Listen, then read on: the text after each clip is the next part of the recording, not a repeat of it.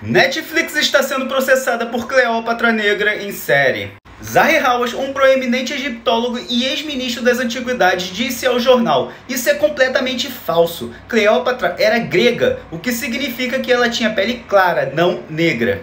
E ele continua: a Netflix está tentando provocar confusão, espalhando fatos falsos e enganosos de que a origem da civilização egípcia é negra. No domingo, o advogado Mahmoud Al-Semari entrou em processo no Ministério Público exigindo que sejam tomadas medidas legais necessárias e que seja bloqueado o acesso ao serviço da Netflix no Egito. O interessante é que o principal argumento das pessoas de esquerda é: ah, eles estão tentando trocar a etnia de uma sereia, de uma fada. Esses seres nem existem.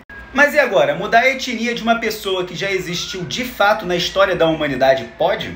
Mudar a etnia de uma pessoa que existiu de fato apenas por interesses políticos e identitários não seria uma grande fake news? Quando o trailer da série foi lançado na semana passada, muitos egípcios condenaram a representação de Cleópatra. Lembrando que quem está reclamando é o próprio povo que está sendo retratado na obra.